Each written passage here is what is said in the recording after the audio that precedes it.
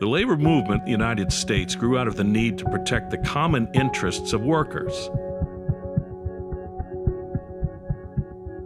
For those in the industrial sector, organized labor unions fought for better wages, reasonable hours, and safer working conditions. The labor movement led efforts to stop child labor, give health benefits, and provide aid to workers who were injured or retired.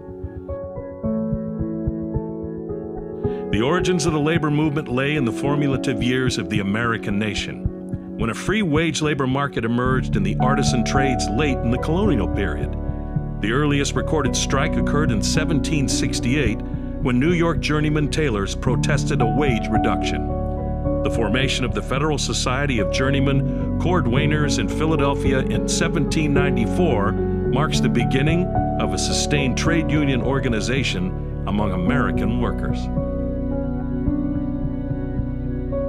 The labor movement continued to evolve through years of turmoil, both internal and external. The melding of Industrial Revolution factory workers with the artisan trades in the late 19th century, railroads and the opening of the West. The organization of farm labor came in the late 19th century as California developed into one of the great food producing states. The Great Depression and Roosevelt's New Deal in the late 1920s and early 30s. The 1934 longshoreman strike, leading to fair treatment for dock workers at West Coast ports. The National Labor Relations Act in 1935. The introduction of collective bargaining after World War II. And the strong commitment in the 1960s to including women and minorities in the labor movement. It's also a union that recognizes that from time to time it's got to stand up and fight for certain things that mightn't necessarily only be wages, hours, and conditions. Civil liberties, racial equality, and things like that. But throughout its history, part of the mission of organized labor has been to teach new workers the necessary skills to fill good union jobs. Beginning the mid 20th century, labor began partnering with colleges and universities to create on campus labor centers. They serve as resources for students. And now, the Long Beach Community College District Board of Trustees has partnered with area labor unions, agencies, employers, and organizations to introduce the LBCC Labor Center at our Pacific Coast campus.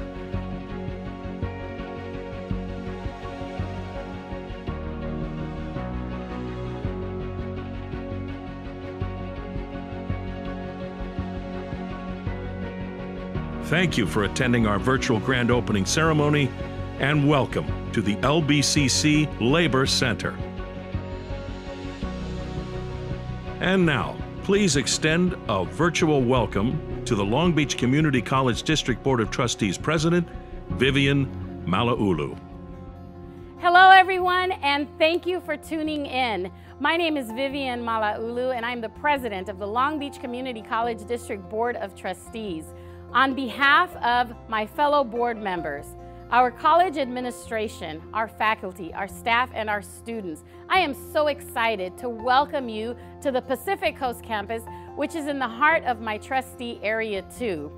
We are happy to have you joining us virtually, especially our union brothers and sisters and our colleagues in the greater Long Beach Community College surrounding area.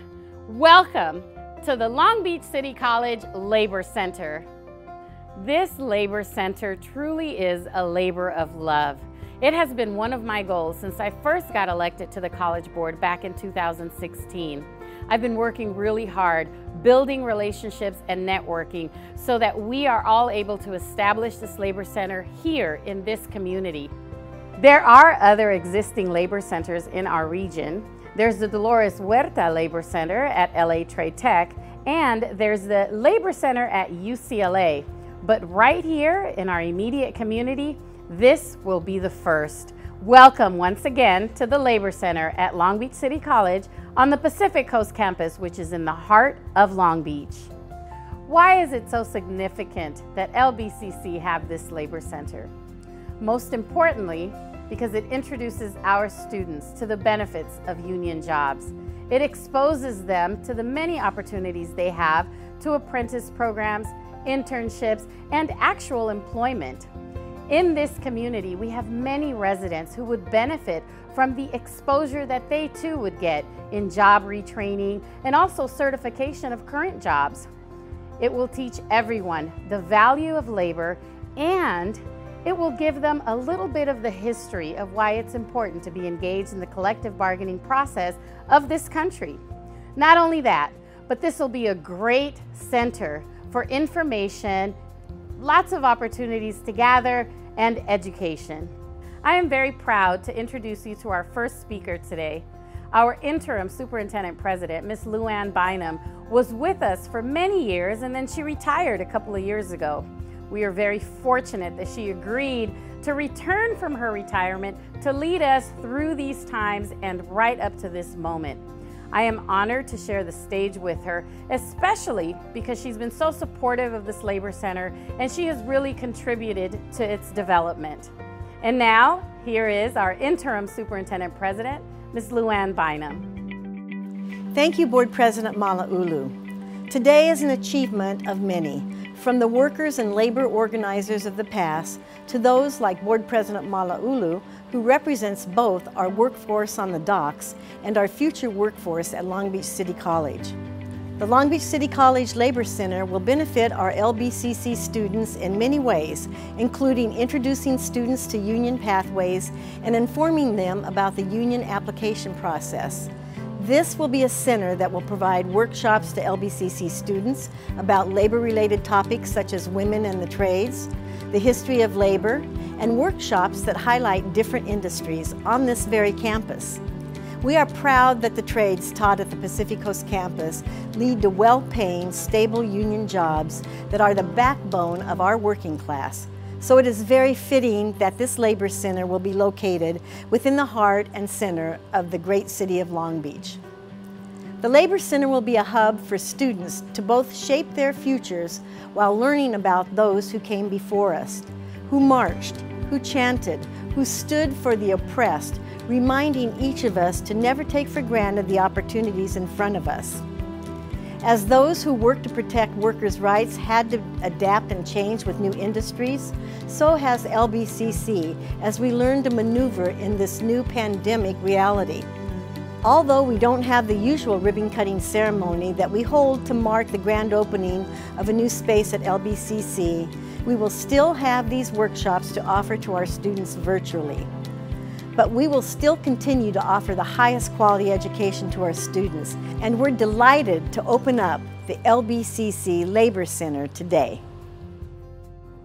It is my honor to introduce our next speaker. She actually needs no introduction. If you just whisper her name, people know who she is, what she's done, and what she stands for. Her name is Dolores Huerta. Ms. Huerta is the founder and president of the Dolores Huerta Foundation.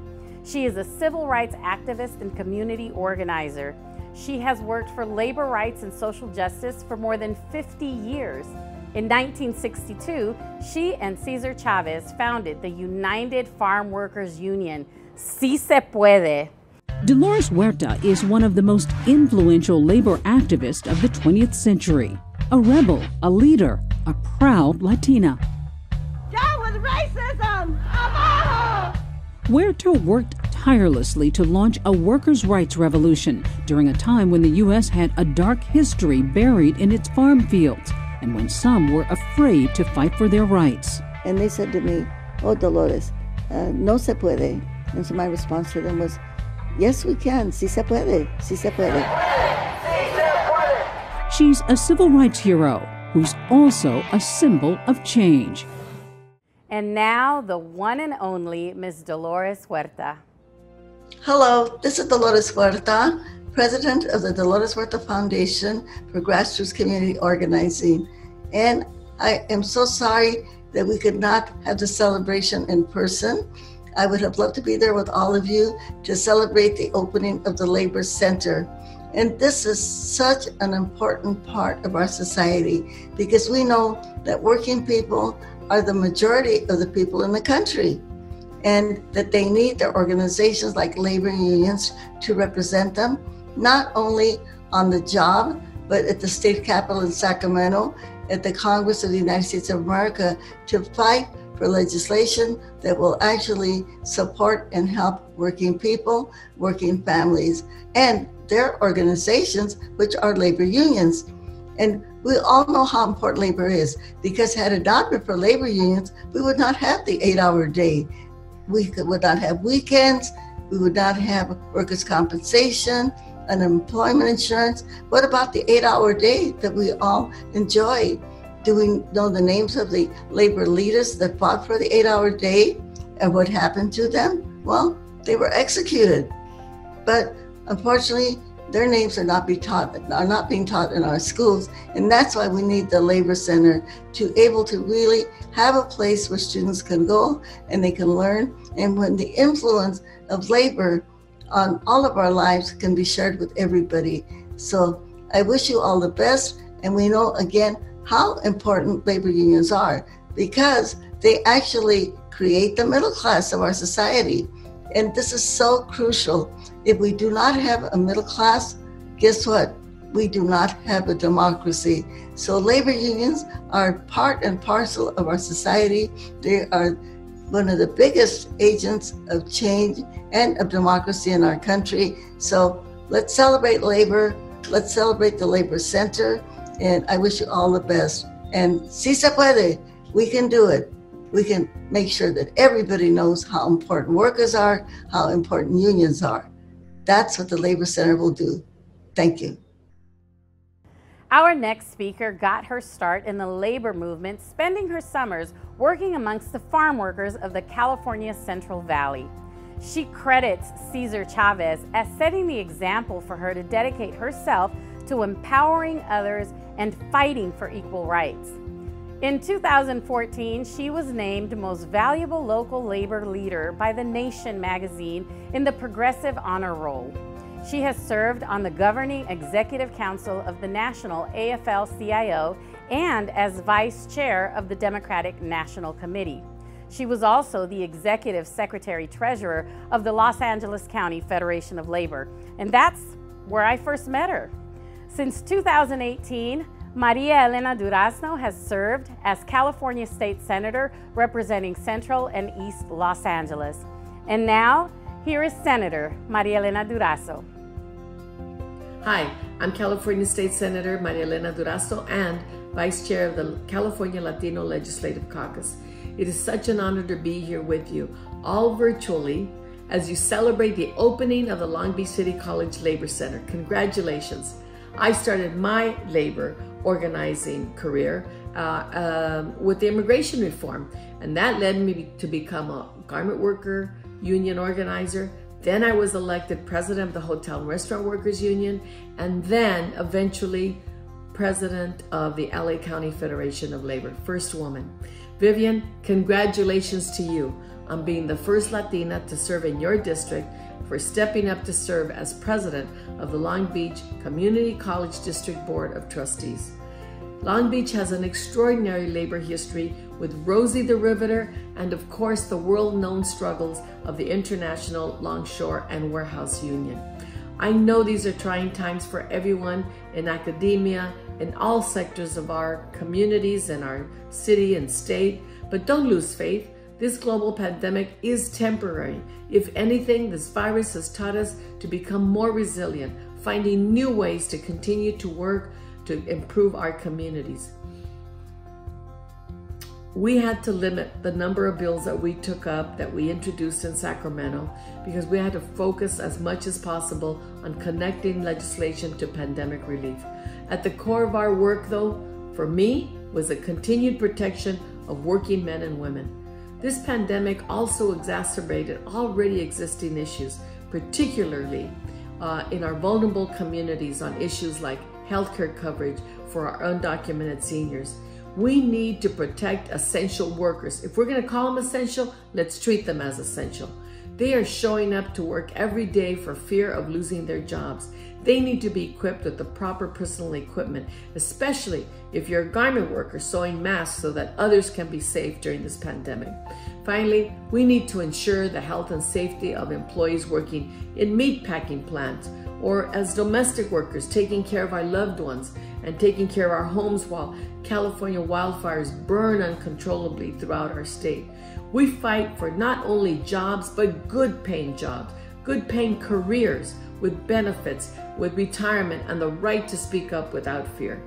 We just celebrated Labor Day in Wilmington, distributing food to thousands of families. That's what labor does, is take care of our own. In the United States, it was unions that pushed for the five-day workday, the 40-hour work week, the health care, the mandatory breaks and time off and retirement. We owe so much to the labor movement. Here in California alone, Latino and immigrant workers have pushed back against exploitation and racism. We've had the infamous Bracero program, the Filipino worker strike, the Great Boycott, the UAW Chicano leaders, and on and on people of color have been in the forefront of the labor movement. And we pushed institutional change over the past 25 years because workers, immigrant workers, alongside white union workers and African Americans led this movement.